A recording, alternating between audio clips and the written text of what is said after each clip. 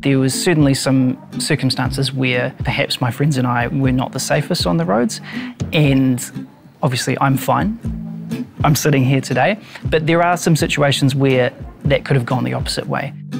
We have two names, Kaitiaki o Ara, SADD, Students Against Dangerous Driving. It's all about young people being empowered to run activities, events and campaigns to do with road safety in their communities for their peers. The difference here is that everything that we think about has youth either involved in that consultation process or actually them implementing it themselves.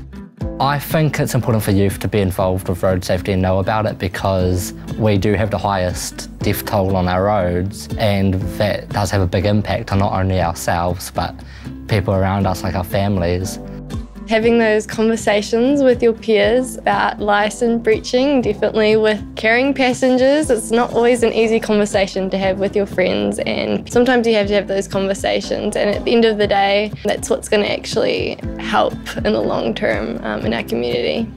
We give ideas out, we have like simple activities, and then at the end of them, we're like, So, what did you learn from this? And I won't text and drive anymore because I can see the consequences from it. For me, that's what I see as making a difference.